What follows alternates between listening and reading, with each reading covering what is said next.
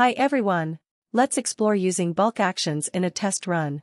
Begin by selecting your preferred project. Next, navigate to the test runs section at the top. Then, select the existing test runs and you'll find the associated test cases.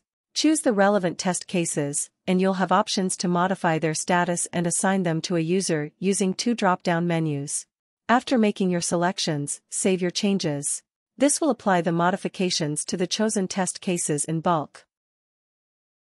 Thank you for watching.